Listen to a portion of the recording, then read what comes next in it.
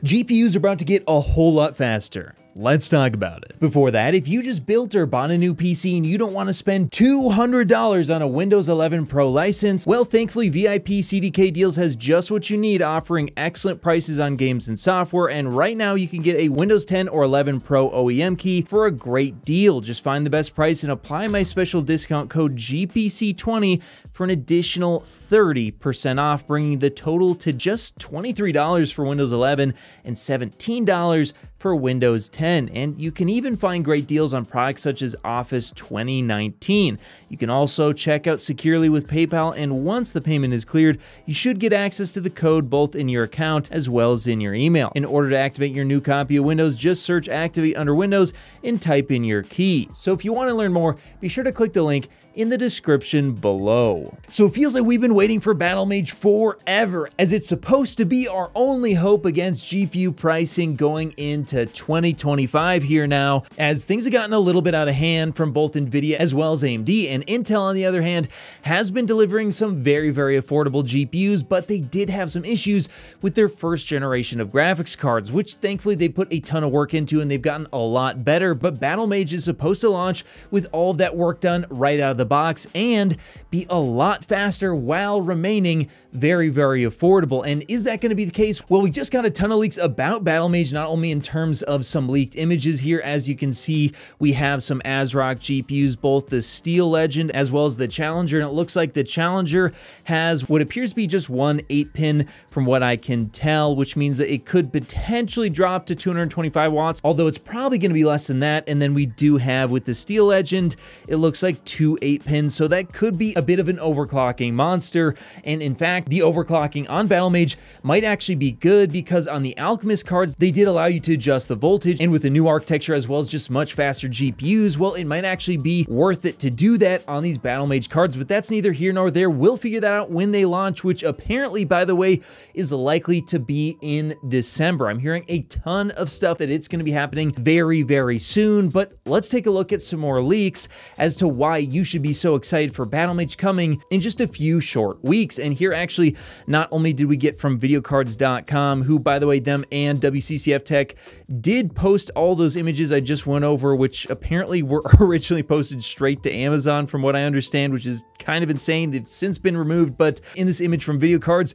we do actually have some mention of the ARC B series graphics cards, and it does sound like, based on everything I'm seeing, that we will be starting off by the Intel Arc B580, which according to a video from Red Gaming Tech, should be targeting roughly an RTX 4060 Ti in terms of its performance, and the B580 is just a mid-range GPU from Intel. It could get a whole lot faster than that. Now, I have seen some people suggest that maybe the higher-end Battlemage GPUs have been canceled, but I don't think that's going to be the case, and the reason why is because take a look here, we do actually have some shipping information about the G31, which should be the largest Battlemage GPU from what I understand, and that GPU is going to be absolutely monstrous. In fact, from the information I've gone over in the past, I was expecting it to be around 32 XE cores once again, but clocking much higher, and then the B580 would be 20 XE cores and clocking much higher. However, it sounds like, based on some new information, that the Intel Arc B580 might actually have 24 XE cores once again, making it significantly faster than what I was originally expecting, as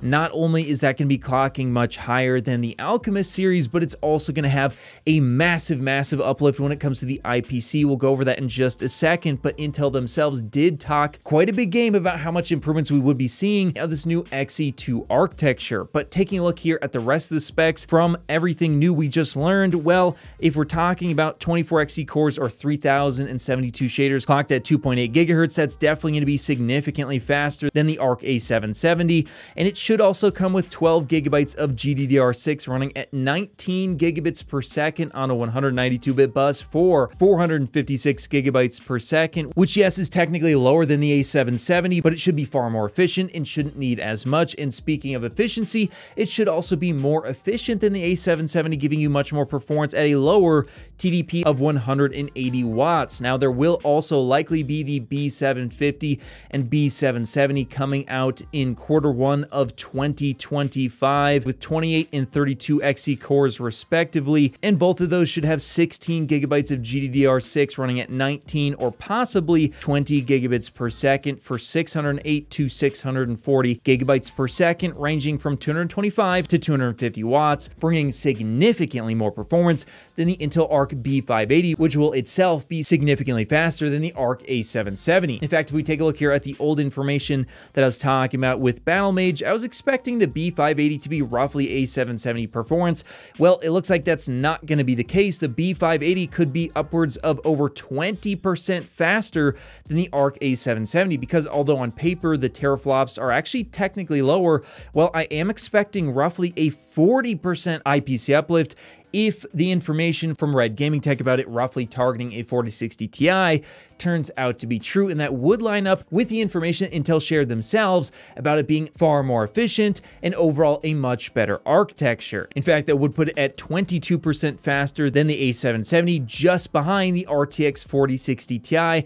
However, the 4060 Ti is $399 for its MSRP, and this thing should be targeting 199 to 229. Now, why do I say 199 to 229? Well, yes, possibly they could technically go higher than that, but I think you'd be a bad idea because the RTX 5060 will be coming out likely with 12 gigabytes of VRAM as well, probably at 299 or maybe 329, somewhere around likely the first half of 2025. So Intel probably is going to have around six months of time before they have to worry about the 5060, and the 5060 should close the gap on this card, giving you similar memory, similar performance, but DLSS for a small upcharge if Intel charges too much for this card. Now, the ARC A580 was actually just $180, and technically they could sell this thing for $199 as when I did some simple math on not only what the GPU die would cost, but the memory, well, the GPU die in theory should cost roughly the same as the Intel Arc A580. I won't go into it, but it was a lot of complicated stuff going on there to come out to roughly a wash, at least in theory. And then the memory could potentially cost around $20 more. So if they wanted to make the same amount per GPU or not make the same amount if they really weren't making that much on the A580, which they probably weren't, well, then they could charge 199. However, if they do want to actually make some money per GPU sold, they probably would target closer to 220 or 230 for this GPU. And if it was 229 or less, that is going to be absolutely decimating everything on the market today and is still going to be a big problem for both NVIDIA as well as AMD even into 2025. I mean, giving you 4060 Ti levels of performance for roughly half the price and getting 50% more VRAM, as well as apparently XeSS is now in, which is by the way their version of DLSS, over 200 titles, and this thing should actually have better ray tracing as well. In fact, it's probably going to be significantly better than what AMD has to offer. This could be a seriously, really, really good card. If it is 199, I'm going to be screaming from the rooftops for everybody to buy this. It's going to be a huge upset and probably one of the best GPUs ever released. And even at 229, that is still going to be a seriously good graphics card if it is priced that low. And I really do hope it is because that is going to be honestly the best GPU I've ever seen price to performance from what I can recall. However, we do still have the B750 and the B770 and based on some simple math, we can expect that the B750 would be roughly 42% faster than an A770 or just behind an RTX 4070 coming in at roughly again half the price 299 to 349 I would suspect. However this should be releasing quarter one of 2025 whereas the B580 should be releasing basically any minute now sometime in December.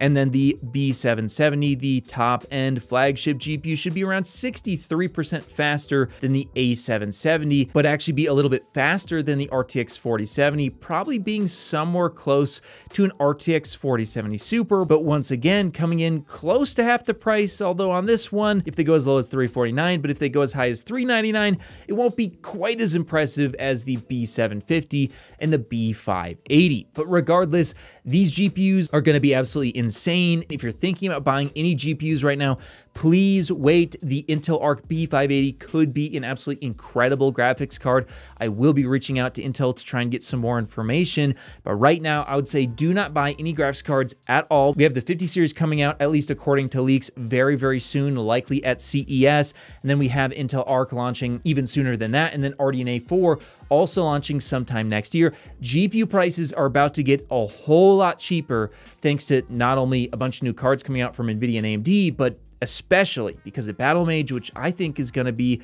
completely upsetting the GPU market. But that's just what I think. Do you think that Battlemage really will be launching really soon at a super good price, or do you think they're going to go for much higher prices than what we got for Intel Alchemist, and it's not going to be that impressive? Let me know your guys' thoughts in the comments below, and of course, I'll see you in the next video. If you made it to the end of the video, be sure to drop a like. Every time you do so, AMD and NVIDIA release new GPUs. Also, if you want to see more, check out one of these related videos. You won't be disappointed.